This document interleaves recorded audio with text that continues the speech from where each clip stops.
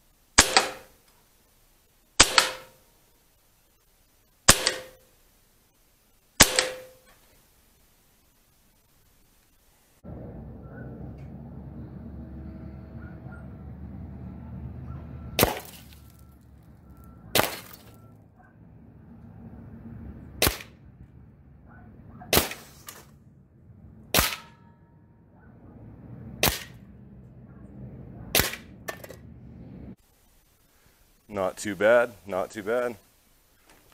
Wouldn't want to be the block of ice, that's for sure. So, hope you guys enjoyed seeing this bad boy shoot. I love this gun. I've had it for about six months now. And uh, really no complaints. I mean, everything has got pros, everything has cons. Um, with this, the the cons that I found so far is it's a little heavy, but that's kind of expected with these PCPs. Um, and the other issue is after about 200 shots or so, there's a little pin in here that works its way out. And so after uh, about 200 shots or so, I went to oil the gun. And when I did so, um, the next shot, it popped out and I couldn't shoot the gun. So took it apart, set that in there, tapped it in a little bit tighter, and um, I've been firing fine ever since. So other than that, I really have no complaints about this gun. I really love it, and it's really fun to shoot. So, and uh, also I was shooting some uh, JSB exact Diablos, and those are obviously 30 cal, and they're 44.75 grain. So uh, they work very well out of this gun. So anyhow, I hope you guys enjoyed the video. Uh, go ahead and like, subscribe, share, and uh, yeah, I'll see you guys next time.